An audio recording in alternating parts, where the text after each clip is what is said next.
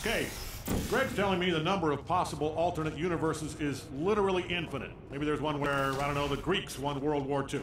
Just a heads up in case you get to a test chamber and find yourself, yourself surrounded by urns. Oh, chariots.